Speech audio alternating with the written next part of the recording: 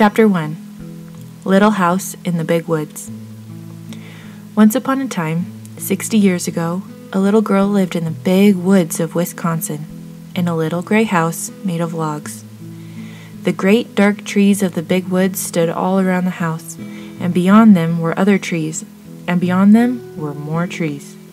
As far as a man could go to the north in a day, or a week, or a whole month, there was nothing but woods. There were no houses.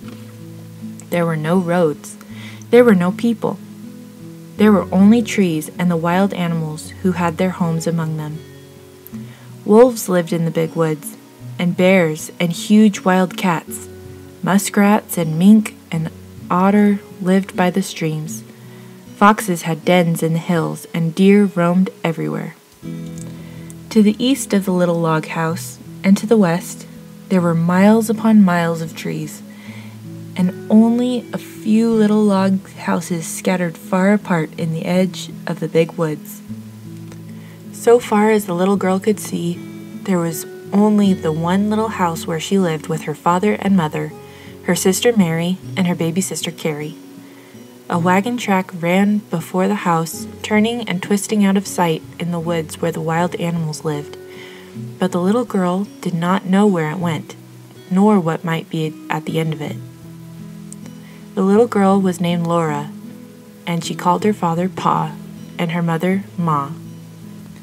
In those days, and in that place, children did not say father or mother, nor mama or papa, as they do now.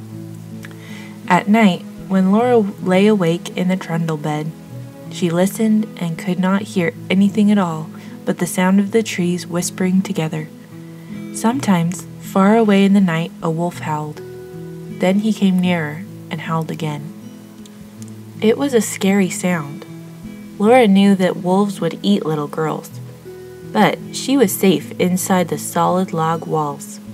Her father's gun hung over the door, and good old Jack, the brindled bulldog, lay on guard before it.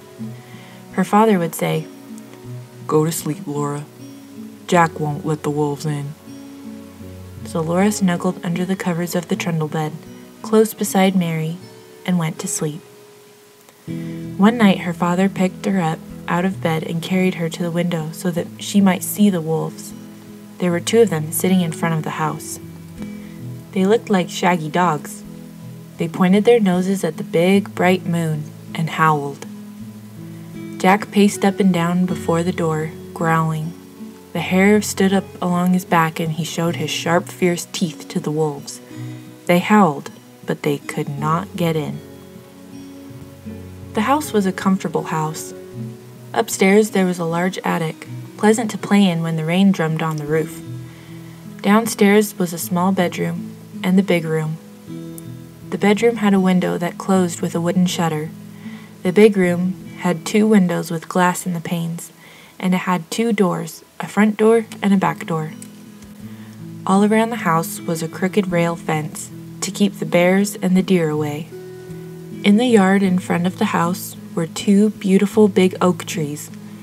Every morning, as soon as she was awake, Laura ran to look out of the window, and one morning she saw in each of the big trees a dead deer hanging from a branch. Pa had shot the deer the day before, and Laura had been asleep when he brought them home at night and hung them high in the trees so the wolves could not get the meat. That day, Pa and Ma and Laura and Mary had fresh venison for dinner. It was so good that Laura wished they could eat it all. But most of the meat must be salted and smoked and packed away to be eaten in the winter. For winter was coming. The days were shorter, and frost crawled up the window panes at night. Soon the snow would come, then the log house would be almost buried in snowdrifts, and the lake and the streams would freeze. In the bitter cold weather, Pa could not be sure of finding any wild game to shoot for meat. The bears would be hidden away in their dens when they slept soundly all winter long.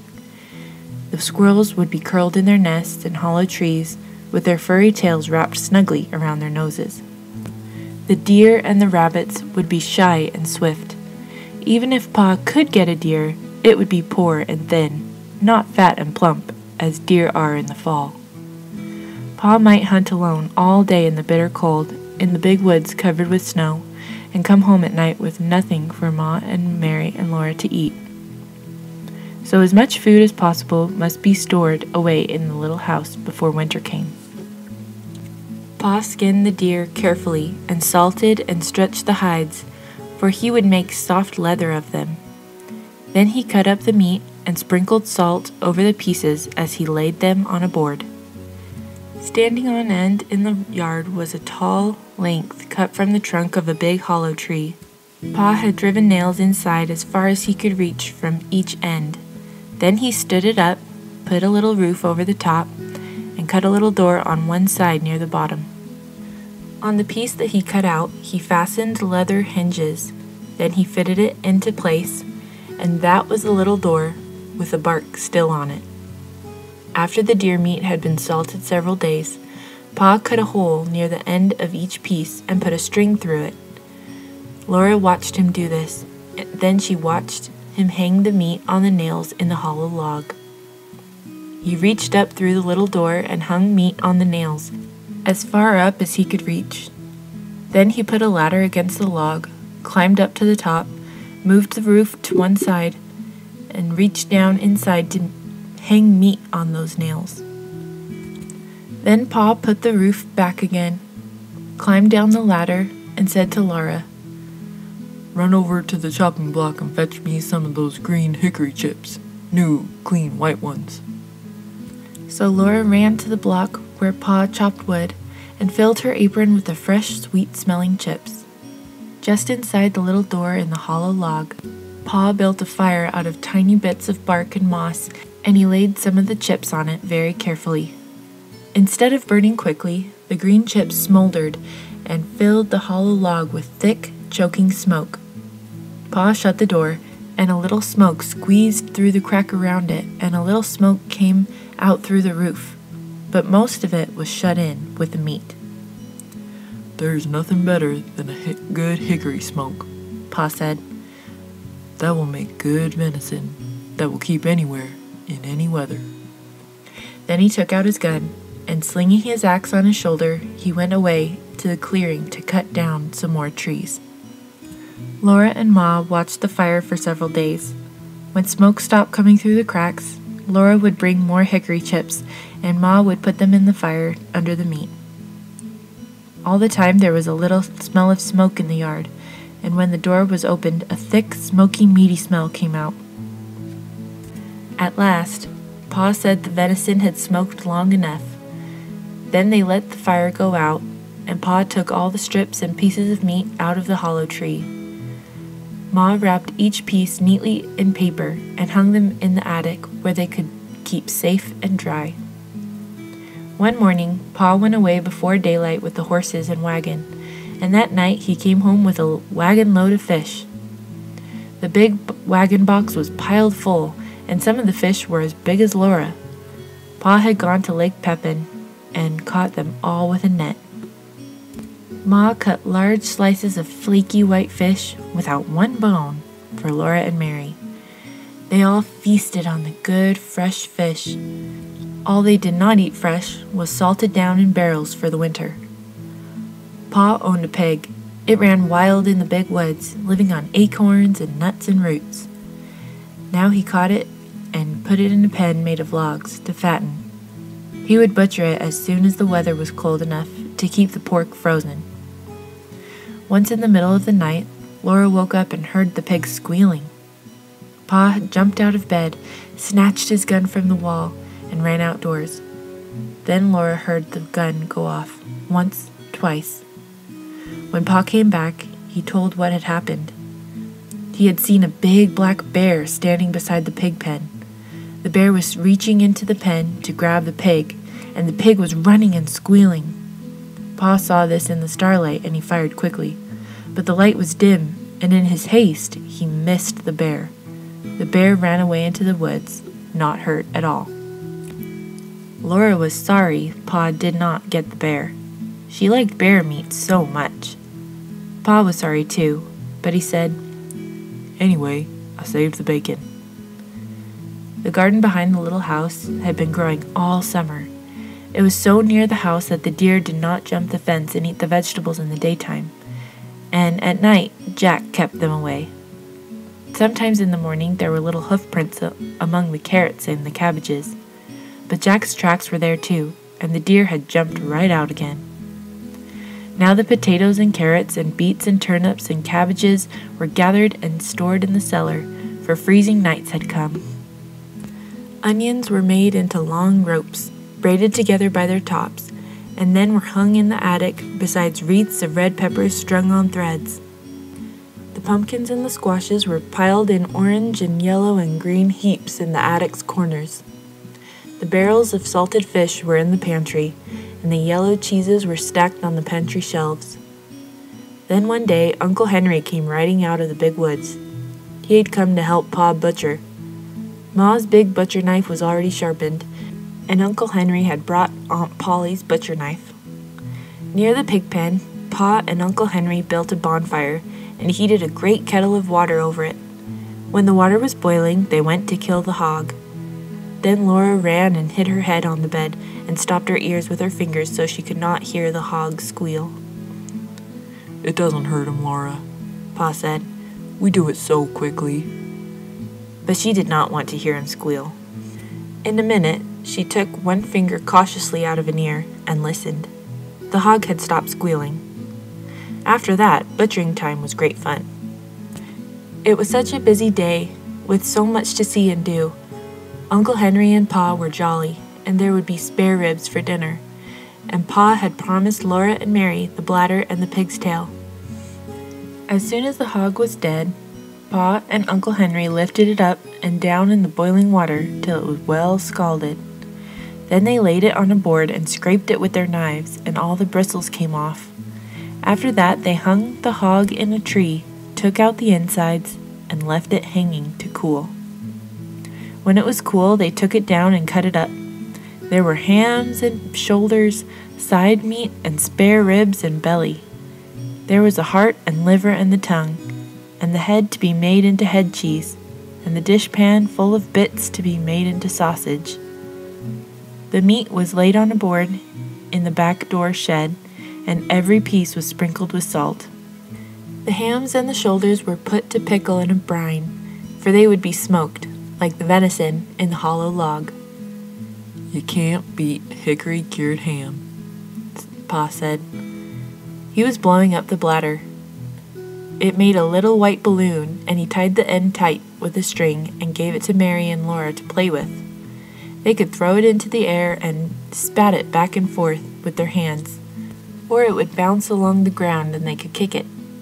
But even better fun than a balloon was the pig's tail. Pa skinned it for them carefully, and into the large end he thrust a sharpened stick. Ma opened the front of the cook stove and raked hot coals out into the iron hearth. Then Laura and Mary took turns holding the pig's tail over the coals. It sizzled and fried, and drops of fat dripped off it and blazed on the coals. Ma sprinkled it with salt. Their hands and their faces got very hot, and Laura burned her finger but she was so excited she did not care. Roasting the pig's tail was such fun that it was hard to play fair, taking turns. At last it was done. It was nicely browned all over, and how good it smelled! They carried it into the yard to cool it, and even before it was cool enough, they began tasting it and burned their tongues. They ate every bit of meat off the bones, and then they gave the bones to Jack, and that was the end of the pig's tail. There would not be another one till next year. Uncle Henry went home after dinner, and Pa went away to his work in the big woods. But for Laura and Mary and Ma, butchering time had only begun. There was a great deal for Ma to do, and Laura and Mary helped her. All that day and the next, Ma was trying out the lard in big iron pots on the cook stove. Laura and Mary carried wood and watched the fire. It must be hot, but not too hot, or the lard would burn. The big pots simmered and boiled, but they must not smoke. From time to time, Ma skimmed out the brown cracklings. She put them in a cloth and squeezed out every bit of the lard. and then she put the cracklings away. She would use them to flavor Johnny cake later. Cracklings were very good to eat, but Laura and Mary could only have a taste. They were too rich for the little girls, Ma said. Ma scraped and cleaned the head carefully, and then she boiled it till all the meat fell off the bones. She chopped the meat fine with her chopping knife in the wooden bowl. She seasoned it with pepper and salt and spices. Then she mixed the pot liquor with it and set it away in a pan to cool. When it was cool, she would cut in slices, and that was head cheese. The little pieces of meat, lean and fat, that had been cut off at the large pieces, Ma chopped and chopped until it was all chopped fine. She seasoned it with salt and pepper and with dried sage leaves from the garden. Then with her hands she tossed and turned it until it was well mixed, and she molded it into balls. She put the balls in a pan out in the shed, where they would freeze and be good to eat all winter. That was the sausage. When butchering time was over, there were sausages and the head cheese, the big jars of lard, and the keg of white salt pork out in the shed, and in the attic hung the smoked hams and shoulders. The little house was fairly bursting with good food stored away for the long winter. The pantry and the shed and the cellar were full, and so was the attic. Laura and Mary must play in the house now, for it was cold outdoors, and the brown leaves were all falling from the trees. The fire in the cook stove never went out. At night, Pa banked it with ashes to keep the coals alive till morning. The attic was a lovely place to play. The large, round, colored pumpkins made beautiful chairs and tables. The red peppers and onions dangled overhead.